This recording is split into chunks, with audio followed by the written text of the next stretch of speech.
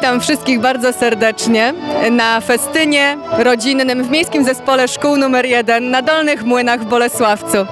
Jesteśmy szkołą, która dba o to, by nasze dzieci pracowały w jak najlepszych warunkach. Stąd też wszystkie pieniążki dziś zebrane, wszystkie cegiełki przeznaczone będą na doposażenie sal lekcyjnych, na zakup nowego sprzętu, tak niezbędnego w procesie edukacyjnym.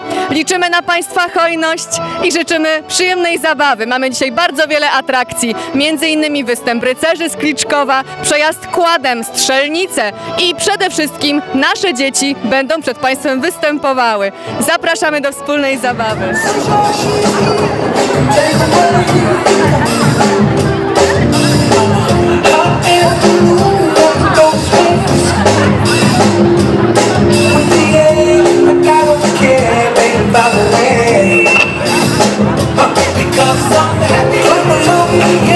Feel